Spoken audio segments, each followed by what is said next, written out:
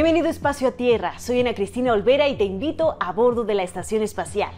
Hoy vamos a ir dentro del Laboratorio de Sistemas de Alimentos Espaciales del Centro Espacial Johnson. La comida es parte de nuestra vida cotidiana y juega un papel importante en la temporada navideña. En los Estados Unidos se celebra la fiesta de acción de gracias, que es un momento para que amigos y familiares se reúnan alrededor de la mesa para cenar y compartir una fiesta. Pero ¿cómo se lleva a cabo una comida de acción de gracias o cualquier comida en el espacio? Para guiarnos en la preparación de una comida en la Estación Espacial Internacional, nos acompaña Sulei Wu, gerente de sistemas alimentarios de la Estación Espacial. Thank you so much for joining us today, Shule.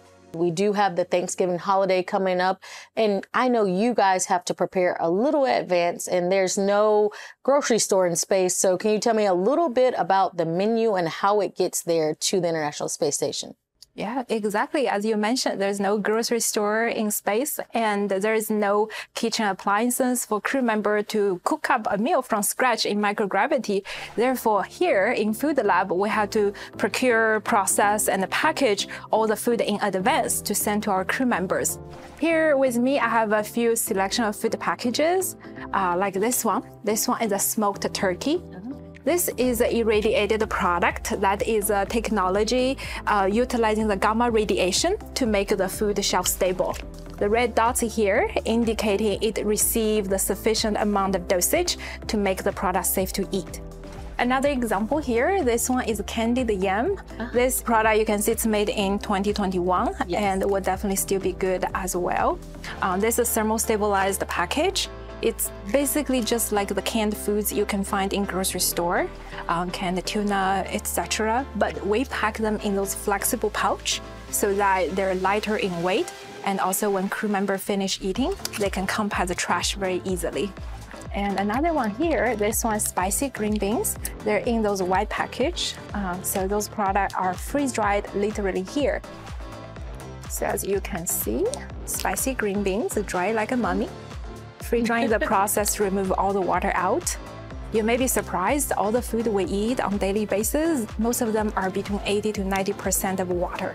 That's what makes them spoil so quick. If we take all the water out, then they become very shelf stable. And do you guys take any special requests for these holiday meals? Yeah, that's actually very important um, because whatever food we send up, we want to making sure crew member will be liking the food.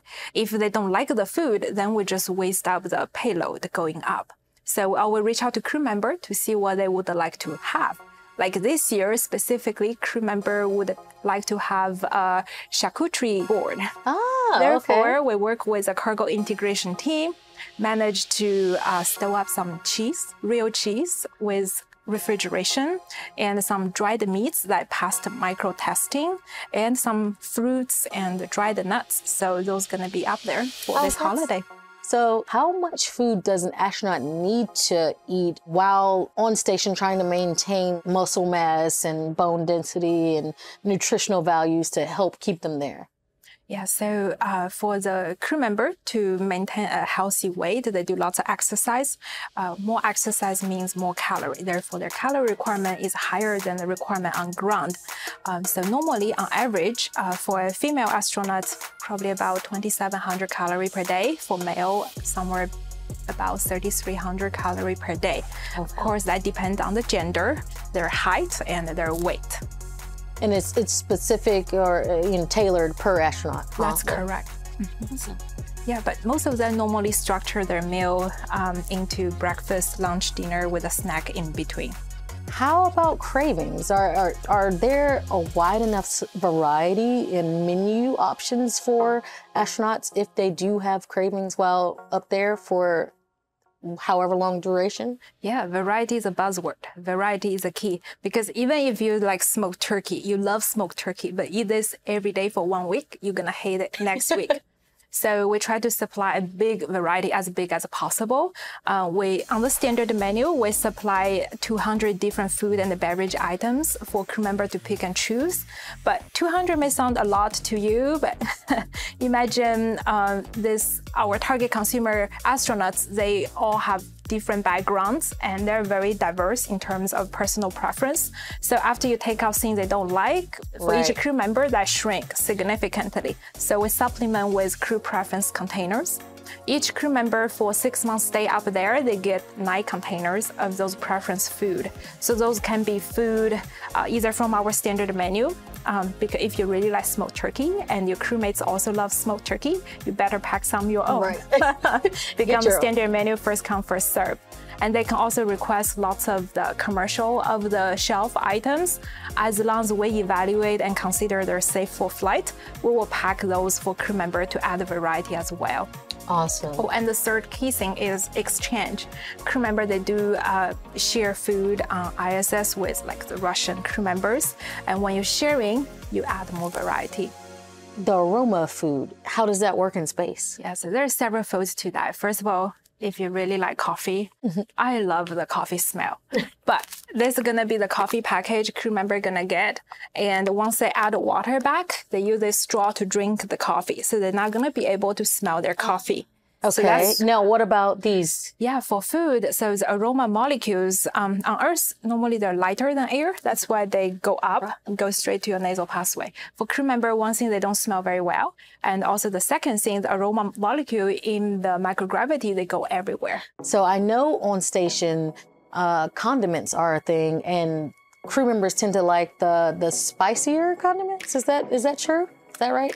Uh, that tend to be true for many crew members um, because when you're in microgravity environment, your body fluid shift make you don't you have kind of stuffy nose. You don't smell things very well.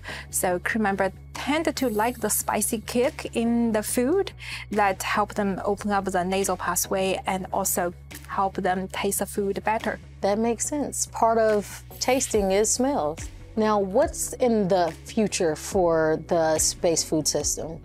What are we looking forward to for Moon to Mars missions, for Artemis missions going forward? Yeah, that's a good question. Uh, for the future, we do envision the space food system going to be a combination of several technologies. The first one, those we consider as a pre-packaged food system because crew member, all they need to do is just add water or just heat up and open to eat. Those are ready to eat food. We still consider this as part of the future space food system because those doesn't require much time from crew members. And also, if there are any issues to other system, they will have this one to lay back on, to fall back on. Uh, the second portion we're thinking about is like the crop for crew member to plant crops, veggies in space. And there have been some testing going on that crew member harvest chili in space and make a chili taco. I do recall that, and I do recall them eating and testing out the, the food that they were growing. I know so far they've looked at some leafy greens, some radishes, and like you said, the, the chilies were very um, big on station. So, can you tell us any new items that you guys are looking into, or of recent years? Are there any crew favorites that have recently flown to the International Space Station? Yeah, I think one great example for that is a mango salad. That's a product developed by our advanced food technology scientists. They develop this product. They do the shelf life evaluation like three years, making sure the food is all good. Then we add it to the standard menu. And since then, we have heard just positive, very positive comments from crew members. That's different. Uh, mango salad. Yes, it's actually pretty good. It's a freeze dry product, but yeah, very fresh. Xulei Wu from the International Space Station Food Laboratory. Thank you so much. You're very welcome. My pleasure. Esto es el espacio a tierra de esta ocasión. Para más información en español sobre la estación espacial y otras historias, síguenos en la web en ciencia.nasa.gov.